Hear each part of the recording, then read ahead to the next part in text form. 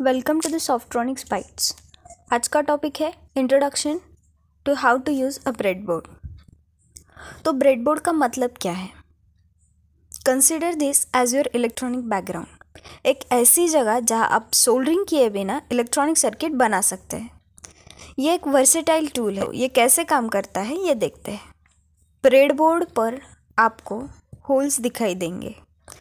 हर एक line internally connect होती है।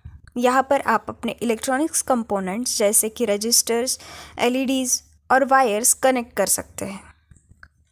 है जो कि वर्टिकली कनेक्ट होती है। मतलब vertically five dots are internally connected to each other but these dots are not horizontally connected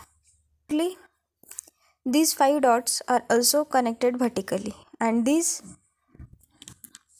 vertically connected dots are separated by the thin line. Now you can see दोनों side पर आपको दो लंबी lines दिखेगी। इन्हें power rails कहते हैं। ऊपर वाली पॉजिटिव रेल है और नीचे वाली निगेटिव रेल है। ये आपके कंपोनेंट्स को पावर देती है।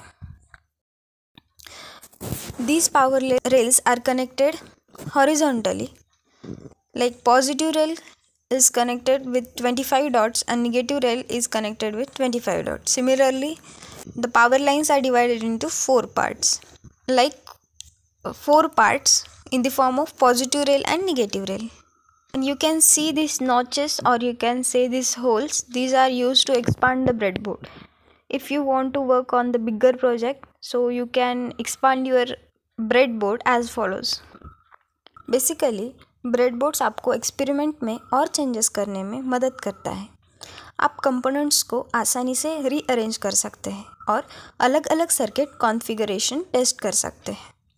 This is all about the introduction to the bread board for more videos like this like share and subscribe to the channel thank you for watching